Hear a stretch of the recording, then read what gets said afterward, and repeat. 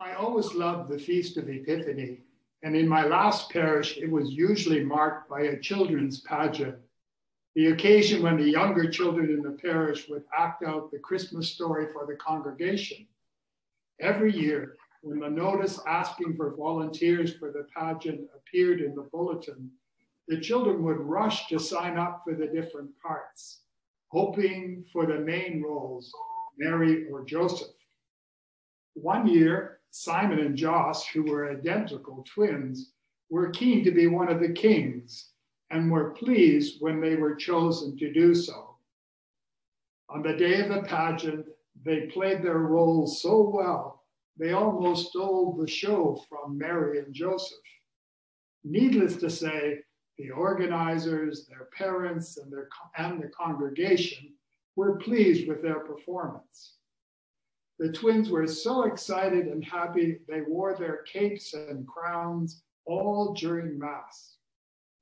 Their mood quickly changed when a teenager who noticed their happiness told them there was no star and no kings visited baby Jesus in Bethlehem. Immediately, the twins rushed to me and asked if the story was true or not. Without telling them that the author of the Gospel of Matthew, who wanted to include all the Hebrew scripture prophecy about the Messiah, was trying to help the early Christian community to understand that Jesus was a blessing for the whole world. I told the boys they were asking the wrong question. The significance of the story in today's gospel is found when we ask ourselves, what does it mean? And what is it saying to us? I'm reminded of, of the line from the book The Little Prince, where the fox shares a simple secret with the prince, who was looking for truth and meaning in his life. It is only with the heart that one sees rightly what is essential is invisible to the eye. Today, you and I are asked to look at the epiphany of the Lord with the eyes of our heart, to see how the glory of God, the light and truth of God, has found a place in our world and in our hearts. Arise, shine, for your light has come, and the glory of the Lord has risen upon you. God reveals the mystery of divine presence to us in ways that we can understand and appreciate.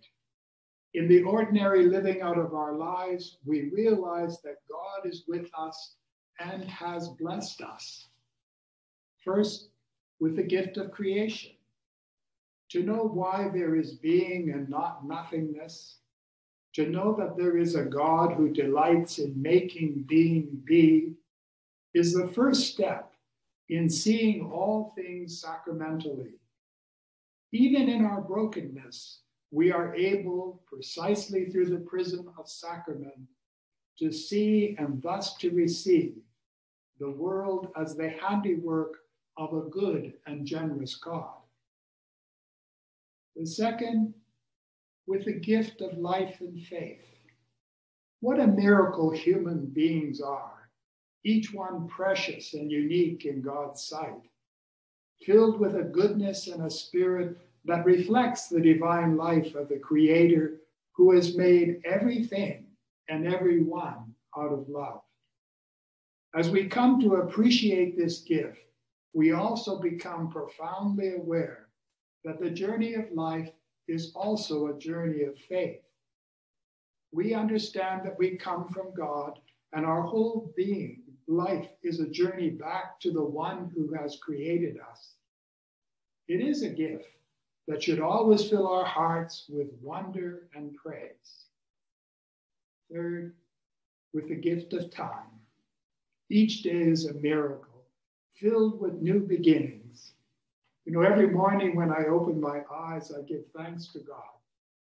I say, God, thank you for another day. Help me to live it well in union with you and all the people I will meet this day. I pray I will not be judgmental or critical or negative of others. Help me to find the truth and beauty in everyone and in everything.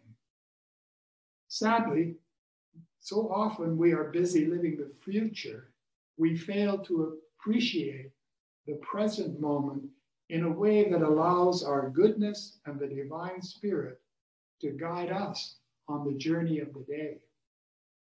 Fourth, the gift of the other. Our family, friends, and community, all those people who walk mysteriously in our lives and awaken good in us we never knew existed. We are not meant to be alone.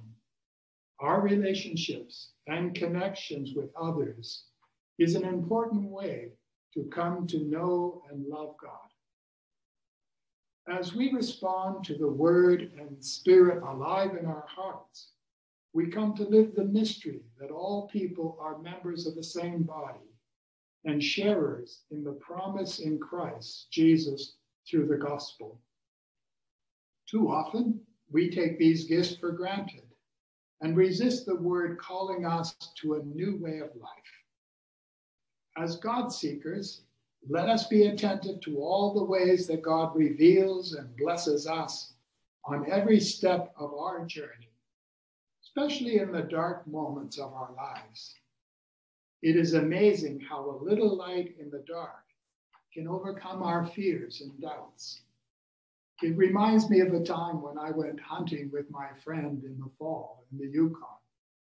And we got to our hunting spot and we decided to split up uh, in order to have a better chance to, to see a moose.